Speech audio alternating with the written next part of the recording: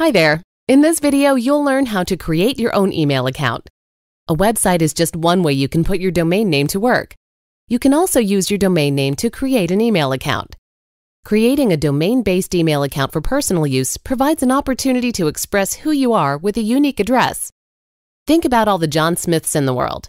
Chances are, to get a free email account now, they would need to append their name with their birthday, their hometown, their favorite sandwich, or a bunch of random numbers before they'd find an available email address through a free provider. If you create an email account for your business using your domain name, you'll have a professional email address that instills confidence in your customers and builds brand credibility.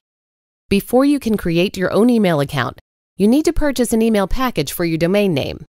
Your email package provides you with storage space on our servers for your emails, as well as secure file storage for any email attachments you might receive. Depending on the package you choose, GoDaddy Email may also provide access to productivity tools like video conferencing and Microsoft Office 365 applications like Word and PowerPoint. Regardless of the package you choose, your new GoDaddy Office 365 email account is a web-based version of Microsoft Outlook. This means you can use it to view or send email from any device, as long as you're connected to the internet. To get started creating your own email account, in your GoDaddy account, Access your domains. Choose the domain name that you want to use for your email account and click Use My Domain. Now select Set up a professional email. GoDaddy offers three email packages, each available for one of three terms.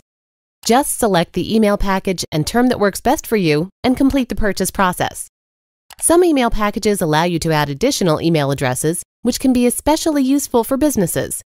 For example, the owner of Molly's Bark and Wine has set up three unique addresses in the email account she created with her domain name a personal account, an account for general inquiries, and an account for customers interested in hosting an event at her winery. So, in addition to making her business look more professional, her email accounts help her to better manage business related correspondence. Once you complete your purchase, you'll receive a confirmation email that walks you through the setup for your email account. If you've registered a unique domain, why not have a unique email address?